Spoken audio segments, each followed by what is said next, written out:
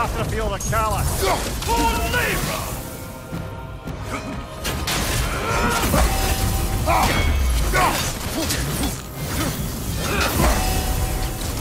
Ready yourself,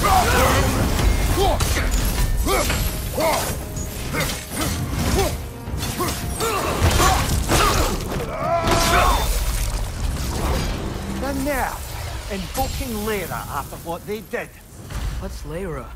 It was a peaceful kingdom, full of artists and poets.